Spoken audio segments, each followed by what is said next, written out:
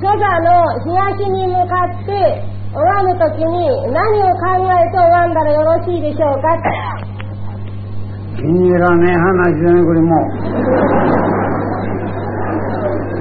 というわけは、私がいつも受領本の講義の割にそれを知ってるじゃない。戸島公会堂。それ君は来て聞かないんだね。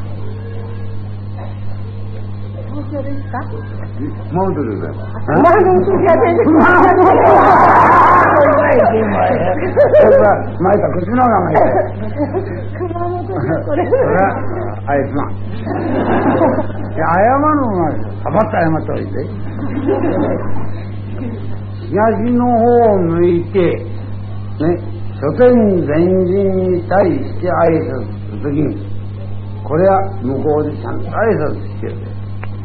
それは我が心の中にある書店前人が、そのまま大宇宙に浮かぶんです。ね、そして第二弾に、本土に向かうときには、書店前人が全部後ろにこう座るんです。そういうね。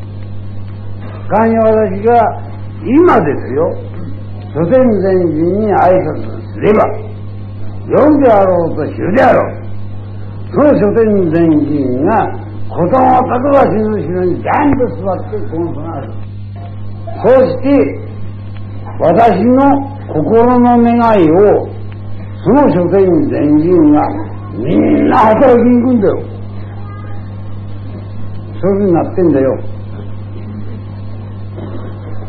それを覚えれば、あの、書座の務めが、どれほど大事かと分かってくるんだよ。ね。書店でずる後ろにいるんですよ。ね。最初はこっちは向かって話す。ね。今度ゴンドに向かうと皆書店で私がガーッと並ぶことになってるんだよ。それは昼だって夜だって同じなんだよ。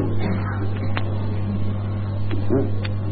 その時に、こっちが変なこと考えてると、たたいてお前、いい時期じゃねえ。嘘だ。それやられるん。だよ。それ以上は、これでいいだろ。はい